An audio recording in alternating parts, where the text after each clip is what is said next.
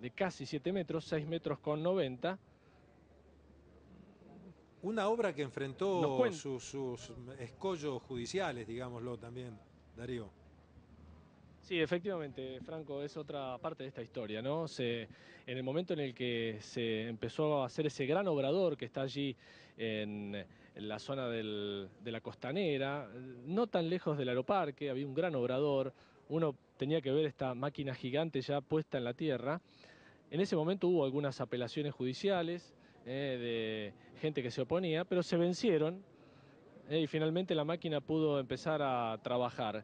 Eh, otro dato les quiero dar para que ustedes vean la, la dimensión que tiene el trabajo de esta máquina construida en Canadá. 70 mil litros de agua por día para enfriamiento utiliza esta máquina que tuvimos la oportunidad de verla, recordaba yo allá por enero de este año, cuando ya estaba trabajando, pero recién había recorrido un, tramo pequeño desde el Río de la Plata viniendo hasta aquí. Eh, también nos han dado aquí la información de, prensa del Ministerio de Obras Públicas donde eh, cuentan algunos problemas que tuvo, eh, zonas por las que tuvo que pasar, que le llevaron más tiempo de la cuenta. ¿no? De cualquier manera, la imagen muestra y es un resumen más importante del que estoy haciendo yo. ¿no? Esa imagen alcanza para que todos nos demos cuenta que el trabajo de la tuneladora ha llegado a su fin en lo que estaba previsto. El túnel corto, una especie de aliviador del arroyo Maldonado. Repito el diámetro, ¿eh? 7 metros con 90 es el diámetro que excavó. Finalmente el túnel terminado va a quedar de 6 metros con 90, una longitud total de 4.561 metros, ¿eh? desde aquí, donde estamos ahora, hasta metros del Río de la Plata. ¿m? Ah, esta es la primera eh, gran obra que se hace y se presenta. Algunos decían aquí un poco a las apuradas, porque todavía va a faltar otro canal que comunique con el Maldonado, pero de cualquier manera el tramo más importante eh, está hecho, es este. Recordemos exactamente el lugar donde estás, Darío de Palermo. ¿Qué parte de Palermo? Y estamos en Niceto Vega, al 1400, eh, casi debajo de, de el puente de Juan B. Justo. ¿eh? Vieron que hay una parte en la que hay un puente en Juan B. Sí, Justo. sí. Bueno, casi, casi aquí abajo, Franco, está esta obra, o por lo menos el punto final de esta obra de ingeniería importante que va a tener la ciudad de Buenos Aires. A metros nada más de, de Niceto Vega, estamos en un terreno que eh, suponemos pertenece al gobierno de la ciudad. Aquí ha quedado un gran anillo de hormigón. ¿eh? Y desde aquí arriba nosotros vemos este trabajo de la máquina que al parecer ha terminado, porque ya no sentimos ese ruido tremendo que ve. viene de las entrañas de la tierra. Se ve la máquina ahí. Eh, este, este círculo grande de, de hormigón que se ha construido aquí va a servir para que el agua llegue hasta este lugar, teóricamente el agua que vendría desde el Maldonado, y pueda seguir viaje si es que eh, el nivel llega hasta donde está ese círculo gigante, va a seguir viaje por este túnel hacia el Río de la Plata.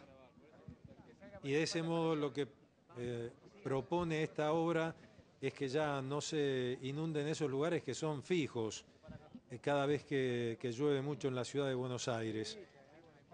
Eh, Veremos si se concreta ¿no, claro, Franco, este claro. sueño. Te iba a decir, a- Este es un a- sueño. A lo mejor Darío, este, después que se termine la obra, van a estar todos esperando que caiga una buena lluvia en la ciudad de Buenos Aires para ver la, tener Para la probarlo. posibilidad de probarlo. Y te digo, bueno, todo parece demostrar que estamos frente a una obra que solucionará este problema. Por lo menos, De cualquier manera, Franco, Sí. eh, falta el otro túnel, ¿no? Si son dos túneles, dos túneles lo que se van a construir, eh, por algo será, eh, decían los ingenieros, y tal vez uno no alcance, ¿no? Claro. Eh, si tenemos en cuenta esas lluvias tremendas eh, que han caído sobre Buenos Aires, Sí. tal vez este túnel corto, como le dicen, no alcancen, por eso va a haber que construir otro, el largo, que recién va a estar terminado para 2012. mientras hablamos con vos, tenemos también a la derecha de la imagen, Darío, la- el comienzo de las obras en febrero de este año. Y a la izquierda, bueno, lo que está pasando en este momento, los aplausos, la presencia del jefe de gobierno y su gabinete para inaugurar esta obra importantísima en la ciudad de Buenos Aires. Vamos a ver si le podemos preguntar esto al jefe de gobierno, ¿no? Si con este túnel, este canal aliviador, alcanza para dejar más tranquilo a los vecinos, ¿no? Esa es la gran pregunta que todos nos hacemos aquí. No se ha sacado para nada el casco amarillo, el jefe de gobierno. Ingeniero, la, pregunta, la pregunta que se hacen los vecinos es si con esto alcanza para evitar ya inundaciones. Esto va a mitigar, esto va a mitigar fuertemente, nunca sabemos la naturaleza a qué nos puede enfrentar, pero con una recurrencia de 10 años, esta obra va a permitirle a todos los vecinos, hasta Niceto Vega, que tengan una situación totalmente distinta a la que tenían hasta hoy, pero igualmente este es un hito muy importante, la máquina sale, demostrando en hechos que se están haciendo las cosas que se prometieron, pero el túnel empieza a funcionar en mayo, cuando termine de conectarse al viejo Maldonado y se hagan todas las obras complementarias que faltan. ¿Cuándo le va a cambiar la vida a los, a los vecinos que dan justamente a, la avenida Juan B. Justo, que son generalmente los más afectados? Hasta Niceto Vega a partir de mayo.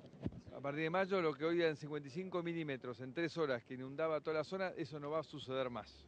¿Y el otro, el otro, túnel que se va a hacer? El otro túnel va a faltar un año más. Un año más. Un año más y, ahí vamos a tener toda la tasa de Maldonado con toda la zona de influencia, cientos de miles de personas que les va a cambiar la vida definitivamente para el tipo de, lluvia que hoy venían sufriendo. Ahora, si la naturaleza se enoja más, se llueva mucho más, igual vamos a estar mucho mejor que antes, pero eh, puede ser que esto, esto no alcance, pero digamos que para lo que nos pasa actualmente, que son 55 milímetros en tres horas, que son las últimas lluvias que hemos tenido, esta zona no debería tener ningún tipo de perturbación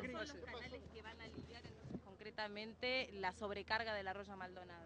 Eh, son, son dos túneles nuevos que hacemos, uno que llega hasta, hasta digamos, esta traza donde estamos hoy, que se termina, insisto, y empieza a funcionar. Se termina hoy, pero falta conectarlo, que eso será mayo, y el segundo que va hasta Cuenca, que es, para mayo del, 2002. Macri, ¿qué puede decir del trabajo de la, de la tuneladora? ¿Cómo trabaja esta maquinaria?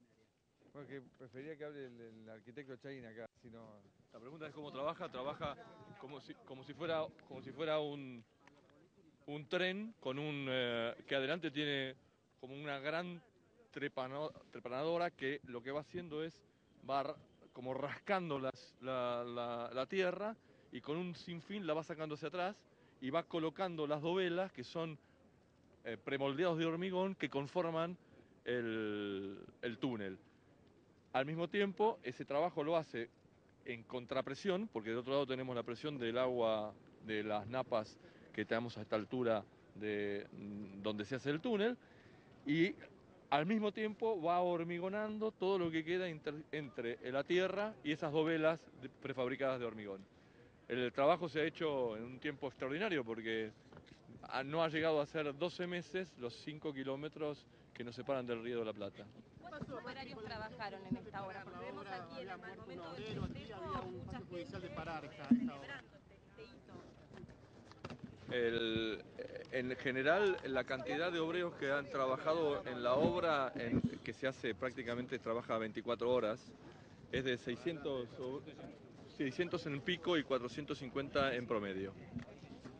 Esta es la máxima tecnología que hay en el mundo disponible. Esta obra es la más importante que se ha hecho en la ciudad en el último siglo.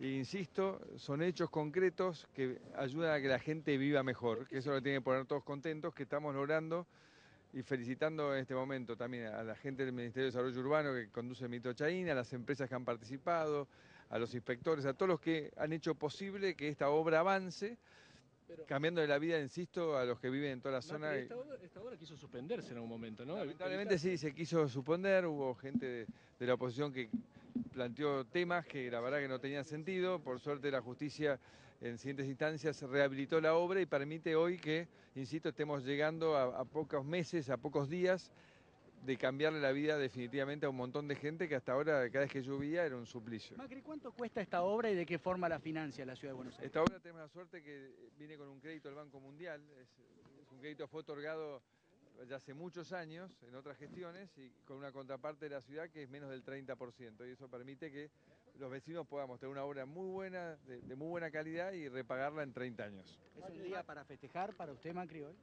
Son días para festejar para todos los vecinos, no para mí, porque la verdad que, insisto, lo que cambia la, calidad de vida de la gente es que hagamos las obras que tantos años han prometido. Pensemos que cuando llegamos en todo el plan de saneamiento hidráulico solamente se había invertido el 7%, hoy estamos arriba del 70%, con una serie de obras complementarias en otros barrios que van mejorando sistemáticamente el tema de cómo enfrentar el agua y la lluvia. le han pro- prometido mucho a los vecinos, ¿no? Y en general siempre se inundaron. ¿Por qué va a cambiar ahora? Porque hay una obra concreta, una obra concreta, son 7 metros de, túnel por 5 kilómetros de ancho, que ya solamente eso es una capacidad de reservorio distinta que antes no teníamos, y aparte es otro desagote más hacia Río la Plata, que va a permitir, insisto, que soportar lluvias de 55 milímetros durante 3 horas, sin que tengamos más de medio metro o un metro de agua, como veíamos siempre en la, en la Juan B. Justo, especialmente en Pacífico, con el bote que se hizo famoso. Esto siempre y cuando no haya subestada, ¿no, Macri? Bueno, la sudestada es un fenómeno aparte, pero igualmente esto se prepara mejor para la sudestada porque también tiene una capacidad de bombeo adicional. Tema, ¿qué opinión le merece que hoy no se haya presentado ninguno de los testigos citados por la comisión investigadora en la legislatura? Este tema tratándose en la legislatura, tendrá que ver con la seriedad con que se está encarando este tema. Yo, yo les dije desde el primer momento que lo manejasen con mayor seriedad porque si no a nadie le iba a dar la importancia que, que merecía el tema y bueno, me está dando la razón que este tipo de escándalo. Este tipo de ¿Qué opinión le merece usted y el hecho de que no se estén presentando los testigos que fueron citados? ¿A qué se debe para usted? Y que no, no les parecerá un marco de seriedad suficiente como para ir a declarar. O sea, es voluntario y la gente no quiere declarar, no se la puede obligar, lamentablemente. Esta denuncia del PRO sobre Aníbal Ibarra y el kiosco, el locutorio. Bueno, aquí se va el jefe de gobierno. ¿eh? Eh, no se ha quitado para nada el casco amarillo y ustedes escuchaban cómo sintetizaba él esta obra, ¿no? Es una obra que le va a cambiar la vida a la gente, es lo que ha dicho el jefe de gobierno, y solamente habrá que ver para creer. Vamos a ver cuando llueva, si es que llueve tanto como recién decía Macri, 55 milímetros, y vamos a ver cómo responde este gran canal que se acaba de construir. De cualquier manera, recién va a estar inaugurado en mayo del año que viene. Falta otro tramo, que es el que conecta esta zona, donde terminó la tuneladora, con el Maldonado, que no está tan lejos de aquí. Muy bien, Darío. Volvemos en un ratito allí a Palermo. Muchas gracias. Hasta luego.